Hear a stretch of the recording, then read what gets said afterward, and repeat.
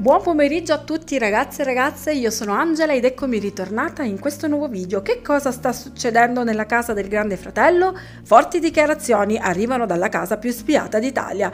Tommaso dopo la puntata di ieri sera sembra essere andato in crisi. Cosa sta succedendo? Scopriamone i motivi.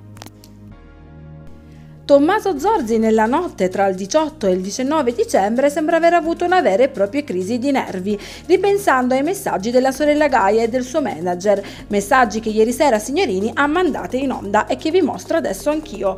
Il primo di Gaia Zorzi è questo. Amici, voglio entrare subito in casa per fare un confronto con Tommaso e mandarlo a ca... Lei si riferiva ovviamente alla nomination di Stefania. L'altro messaggio sempre della sorella Gaia è questo qui. Come tutti i nomi, proprio quello di Stefania dovevi dire ennesimo posto sempre della sorella. Ed è proprio che questa notte Tommaso ha fatto così le valigie, mettendo tutta la roba nel magazzino, mentre Stefania cercava di tranquillizzarlo. Ma Tommaso Zorzi sembra avere le idee chiare e dichiara così. Sono psicologicamente pieno. Amore, ti prego, rivolgendosi a Stefania, non facciamo dei drammi, sono super contento, ma sono al limite.